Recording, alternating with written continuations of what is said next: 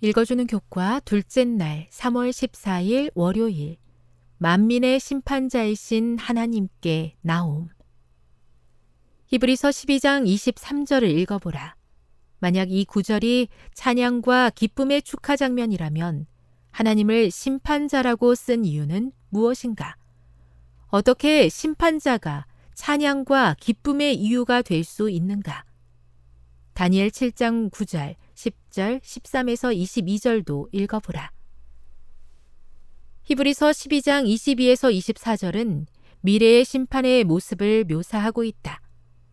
심판자이신 하나님께서 책들을 근거로 그 심판을 주재하실 것이다. 그 심판의 결과는 하나님의 백성들이 나라를 받는 것이다. 이 장면은 다니엘 7장에 묘사된 재림전 심판을 떠오르게 한다. 이 심판의 장면에서 옛적부터 항상 계신 하나님께서는 천천만만의 천사들에게 둘러싸여 불로 만들어진 보좌에 앉아 계신다. 책들은 펴놓여 있고 심판을 통해 지극히 높으신 이의 성도들의 원한을 풀어주시며 성도들은 나라를 얻는다.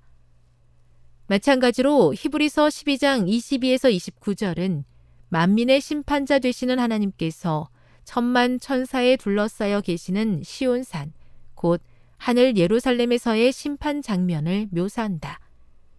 이 장면에도 불이 등장한다.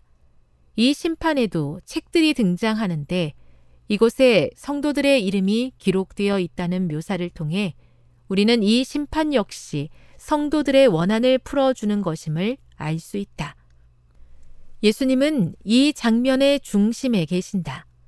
그분은 히브리서 2장에서 우리를 위해 죽음을 맛보신 후에 영광과 존귀로 관을 쓰신 인자로 묘사되어 있다. 히브리서 2장 10절에 따르면 인자께서는 많은 아들들을 이끌어 영광에 들어가게 하시기 위해 고난 당하셨다. 다시 말해 모든 믿는 자들로 하여금 영광과 존귀로 관을 쓰게 하시기 위하여 고난 당하셨다는 것이다. 아들께서는 새 언약의 은혜를 통해 믿는 자들을 시온산, 곧 하늘 예루살렘에 데리고 들어오셨다. 그들은 그곳에서 나라를 받으리라는 약속을 받는다. 이 심판은 믿는 자들에게는 좋은 소식이다. 왜냐하면 이 심판은 그들의 원한을 풀어주기 위한 심판이기 때문이다. 이 심판은 그들을 옹호해준다. 이것은 과거 믿는 자들을 박해했을 뿐만 아니라 미래에도 그렇게 할 무서운 짐승 뒤에 있는 그들의 원수, 용을 멸망시키는 심판이다. 교훈입니다. 다니엘 7장과 히브리서 12장은 하늘 예루살렘에서 진행되는 심판에 대하여 묘사하고 있는데 이 심판은 성도들을 옹호하며 원수를 멸망시키기 위한 심판이다.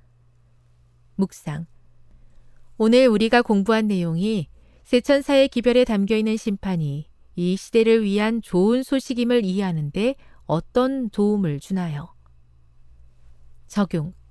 재림교회가 가지고 있는 심판에 대한 이해를 어떻게 하면 좀 더 복음 중심적으로 소개할 수 있을까요?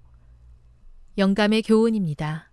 택하신 자들의 원한을 풀어 주실 때 그분에게는 그들의 옷을 갈아입힐 수 있는 능력이 있다. 그는 그들의 더러운 옷을 벗기고 회개하고 믿는 자들에게 당신의 의의 두루마기를 입히시며 하늘 책에 적힌 그들의 이름 아래 용서하였다고 기록하신다. 그리고 그는 온 하늘 앞에서 그들을 당신의 것이라고 공언하신다.